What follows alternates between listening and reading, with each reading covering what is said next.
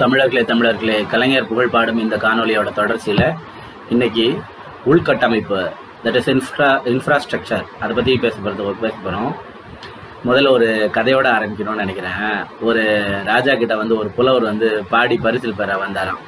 அப்போ அந்த ராஜா வந்து பாட சொல்லி கேட்டுட்டு இருக்கும்போது முதல்ல ஒரு பாட்டு பாடி முடிச்சோன்னே அந்த ராஜா உடனே சொன்னாராம் அருமையான பாட்டு. இந்த புலவரை கூட்டு போய் இன்னைக்கு விருந்து போட்டு அனுப்புங்க அப்படின்னு சொல்லி சொன்னாராம். அந்த புலவர் வந்து ஓகே அப்படின்னு சொல்லிட்டு அடுத்த பாட்டு பாடினாராம். ராஜாவுக்கு ரொம்ப ஒரு சந்தோஷமாக போய் இவருக்கு வந்து இன்னைக்கு மூணு வேளையும் சாப்பாடு போட்டு அனுப்புங்க அப்படின்னு சொல்லி சொன்னாராம். அந்த புலவரும் என்னடா இது சாப்பாடாகவே இப்போ சொல்கிறாரு இவருன்னு சொல்லிட்டு மறுபடியும் மூணாவது ஒரு பாட்டு பாடினாராம். உடனே என்ன சொன்னாராம் பாட்டு ரொம்ப அருமையாக இருக்குது இவருக்கு வந்து ஒரு வாரம் சாப்பாடு போட்டு அனுப்புங்க அப்படின்னு சொல்லி சொன்னாராம். அப்புறம் அந்த புலவர் கொஞ்சம் மூட் அவுட் ஆகி போய் என்னடா இருந்தாலும் சாப்பாடு சாப்பாடுங்கிறானேன்னு சொல்லிட்டு ரொம்ப சிறந்த தான் எழுதி வச்சிருந்ததுலேயே மிகச்சிறந்த பாடல் ஒன்று எழுதி பாடி காமிச்சாராம். அப்போயும் அந்த ராஜா என்ன சொன்னான்னா இந்த புலவரை போய் ஒரு மாதம் சாப்பாடு போட்டு விருந்து வச்சு இவருக்கு கவனித்து அனுப்புங்க அப்படின்னு சொல்லி சொன்னாராம். அந்த புலவன் உச்சக்கட்ட கடுப்பாகி போய் மன்னனை பார்த்து சொன்னானா அண்ணே நீ போன ஜென்மத்தில் பிச்சைக்காரன் இருந்திருப்ப அப்படின்னாராம். புலவர் இப்படி சொன்னானே அரசவே ஆடி போச்சான் மன்னன் வந்து என்ன இப்படின்ட்டு மன்னனே ரொம்ப கோவத்தில் உச்சக்கட்ட கோவத்தில் ஆயிட்டாராம். அப்போ சொன்னாராம் புலவர் கவிதை எவ்வளோ வலிமையானது எழுத்து எவ்வளோ வலிமையானது நான் என்னோட மொழி எவ்வளோ வலிமையானது இதை எவ்வளவும் செஞ்சு நான் வந்து உனக்காக பாடினது இந்த சோத்துக்கு தானே? இது சோறு ஒரு பெரிய விஷயமா? அப்படின்னு கேட்டு கேட்டாராம். அப்படின்னு சொல்லிட்டு உனக்கு இதுதான் பெருசாக தெரிஞ்சிருந்திருக்கு. அது கண்டிப்பாக பிச்சைக்காரனுக்கு தான் சோறு பெருசாக தெரிஞ்சிருக்கும். போன ஜென்மத்தில் நீ அதுக்கு தான் அலைஞ்சிருப்ப. அதனால தான் நீ இப்போ வந்து சோறு சோறுன்னு அதையே இது பண்ணுற அதை தாண்டின விஷயங்கள்லாம் உனக்கு தெரியாதா? அப்படின்னு சொல்லி கேட்டு கோவப்பட்டாங்க இந்த கதைக்கான காரணத்தை நான் பின்னாடி விளக்குறேன். கலைஞர் அவர்கள் வந்து உள்கட்டமைப்பு விஷயத்தில் என்னெல்லாம் செஞ்சுருக்காரு அப்படிங்கிறதுக்கு அவர் வந்து ஆயிரத்தி தொள்ளாயிரத்தி அறுபத்தி ஏழில் அந்த முதல்ல அந்த ஆட்சி காலத்துலேருந்து ஆரம்பித்து ஆரம்பிச்சு அவர் அதுக்கு முன்னாடி அவர் எம்எல்ஏவாக இருந்தார்ல அப்போவே வந்து அவர் தமிழ்நாட்டில் முத முதல்ல அந்த முசிறியும் ஆஹ், குளித்தலையும் இணைக்கிற ஒரு காவேரி ஆற்றுக்கு நடுப்புற ஒரு பாலம் கட்டியிருப்பார். நீங்கள் ஒரு இன்னைக்கு யோசித்து பார்த்தீங்கன்னா கரூர்லேருந்து கிளம்பி நீங்கள் வந்து திருச்சிக்கு வந்தீங்கன்னா ஒரு பக்கமாக தான் நீங்கள் வர முடியும். அந்த பக்கத்து ரூட்டில் வரும்போது ஒரு பாலம் கூட காவேரி குறுக்க இருக்கவே இருக்காது. எண்பது கிலோமீட்டர் கிட்டத்தட்ட எந்த பாலமும் இருக்காது. அதில் ஒரே ஒரு பாலம் இன்றைக்கும் இருக்குது அது வந்து கலைஞர் வந்து ஆயிரத்தி தொள்ளாயிரத்தி அறுபத்தி ஒம்போதுலேயே கட்டின பாலம்.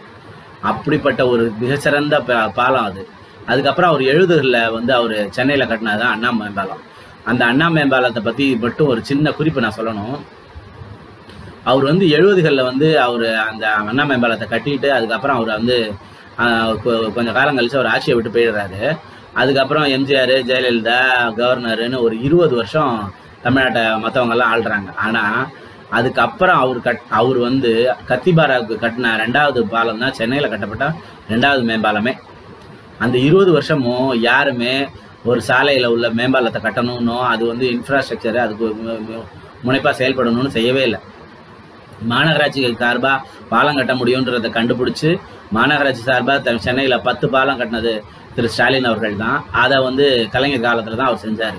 உள்கட்டமைப்பில் இந்த பாலம் எவ்வளோ முக்கியமானதுங்கிறது இந்த அண்ணா மேம்பாலத்தை பற்றி இப்போ எல்லாருமே இப்போ இப்போ இந்த கங்கையில் பாலம் விழுந்தோடனே இந்த அண்ணா மேம்பாலத்தை பற்றி ஐம்பது ஆண்டுகள் மு- முடிவடைந்து அதுக்கு சில ஒன்பது கோடி ரூபா செலவு பண்ணி இதை புனரமைச்சிருக்காங்க. அதுக்கு விழா கூட எடுக்க போகிறாங்க அந்த பாலத்தை பற்றி இப்போ ஒன்று செய்யணும்னா அந்த பாலத்தோட புகழை நம்ம தெரிஞ்சுக்கிறது அடுத்தது.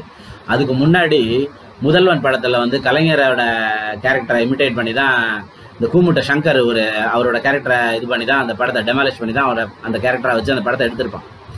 அந்த படத்தில் மிகப்பெரிய டிராஃபிக் ஜாம் ஆகி போய் அண்ணா மேம்பாலத்து மேலே தான் நின்று அந்த டிராஃபிக் ஜாம் அவன் அந்த கேமரா எடுத்திருக்கோம். ஆனால் அண்ணா மேம்பாலம் தான் தமிழ்நாட்டில் க போக்குவரத்து நெரிசலுக்காக கட்டப்பட்ட முதல் மேம்பாலம். அந்த மே- தான் கலைஞர் அவர்கள் அவர் அவர் செஞ்ச மிகப்பெரிய சாதனை. அந்த ஒரு ஒரு ஷேப்பே அதோட ஷேப்பே விதா வித்தியாசமாக இருக்கும். இப்போ நேராக போகிறது அதுக்கப்புறம் அதில் ஒரு யூட்டர்ன் எடுக்கிற வாய்ப்பு இதெல்லாம் செஞ்சு அந்த பாலத்தை வந்து கட்டியிருப்பார். அந் எந்த மேம்பாலம் கலைஞர் வந்து நெ- போக்குவரத்து நெரிசலை குறைக்கிறதுக்காக எழுபதுகளில் கட்டின மேம்பாலத்தை இருபது வருஷம் கழிச்சு ஒரு கிறுக்கம் வந்து அந்த மேம்பாலத்து மேலே டிராஃபிக்காக இருக்குன்னு சொல்லி ஒரு சீனை வச்சு அதை ஒரு படமாக எடுத்து மக்கள்கிட்ட வந்து அதுக்கு நெகட்டிவ் இதை ஏற்படுத்தி கொடுத்துட்டான். அதனால் அந்த பாலத்துலேருந்து ஆரம்பித்து நீங்கள் தமிழ்நாடு பூரா எடுத்துக்கிட்டிங்கன்னா திருநெல்வேலி ரெட்டப்பாலம் க- திருவள்ளுவர் ரெட்டப்பாலம் அது கலைஞர் கட்டினது.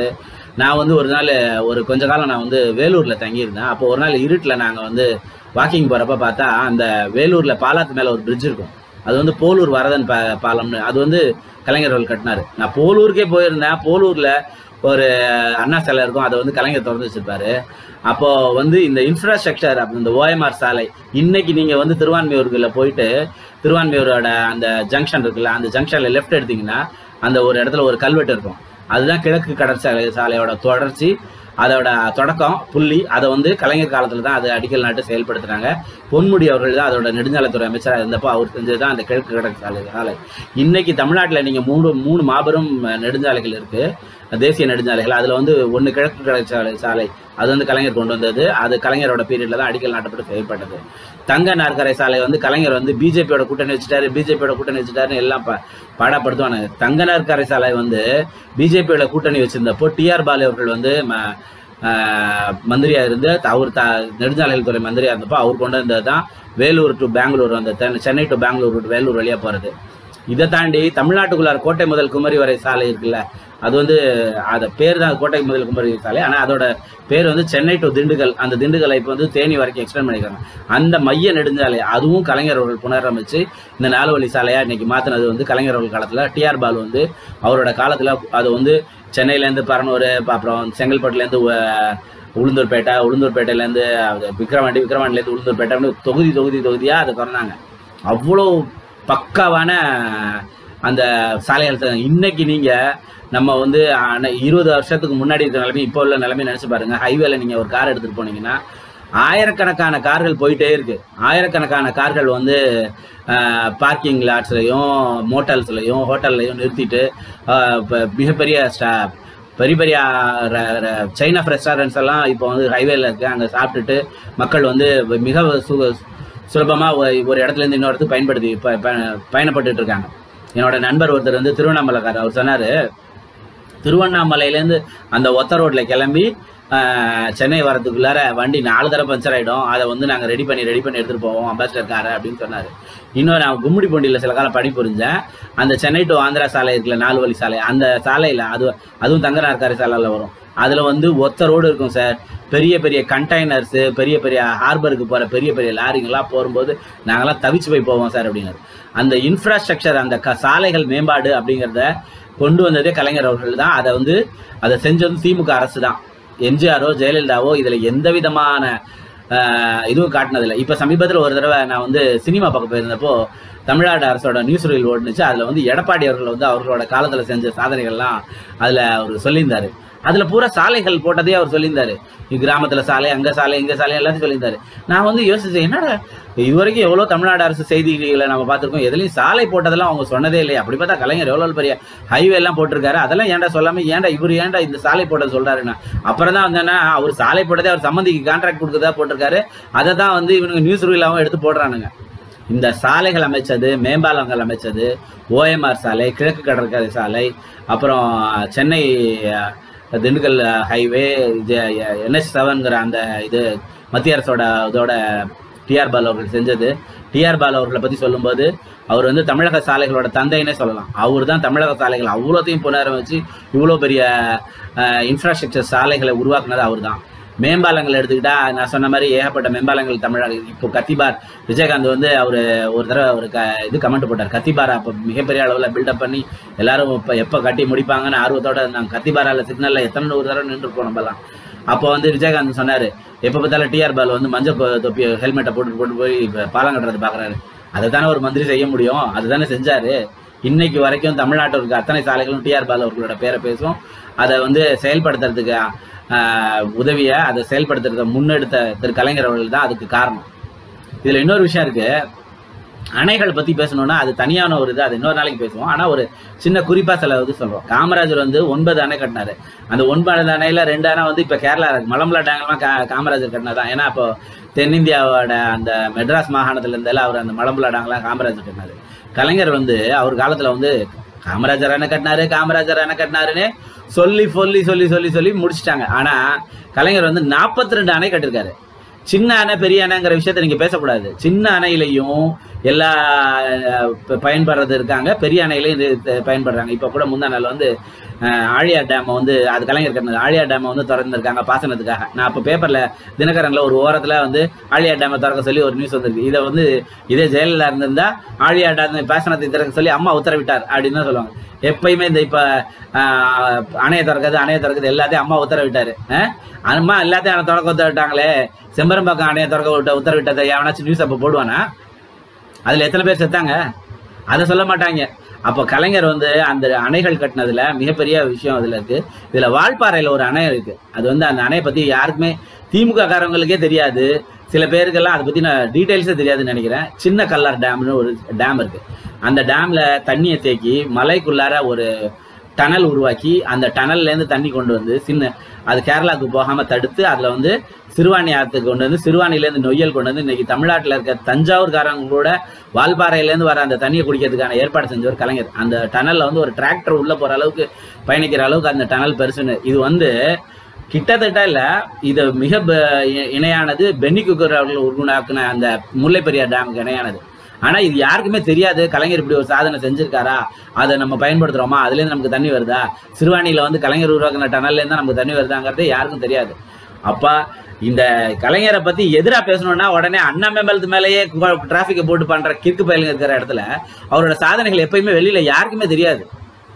அந்த புறநகர் அமைக்கிறது இப்போ சேட்டலைட் நகரங்கள் கலைஞர் பீரியட்ல வந்து சேட்டலைட் நகரம் அமைக்கணும்னு சொன்னப்போ பாமக சார்பா ராமதாஸ் அவர்கள் வந்து அதை அமைய விடாம கெடுத்து அதை அதை அமைய விடாம பண்ணிட்டாரு ஆனா எழுபதுகளிலே கலைஞர் வந்து புறநகர்கள் அமைச்சிருக்காரு.